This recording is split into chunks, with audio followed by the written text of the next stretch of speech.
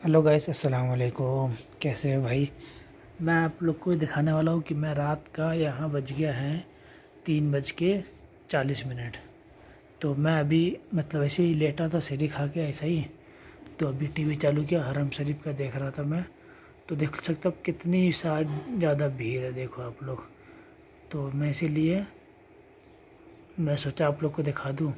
तो ये रमज़ान के महीने में भी इतनी सारी भीड़ है, देखो आप लोग।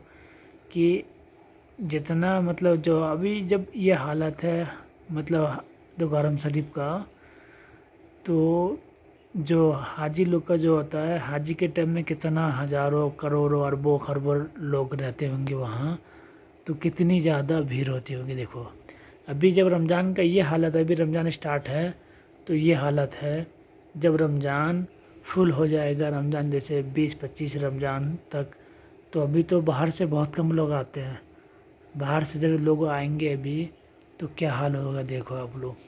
तो इसीलिए मैं सोचा आप लोग को बता दूँ। तो चलिए, चलते हैं, खुदा हाफिज़।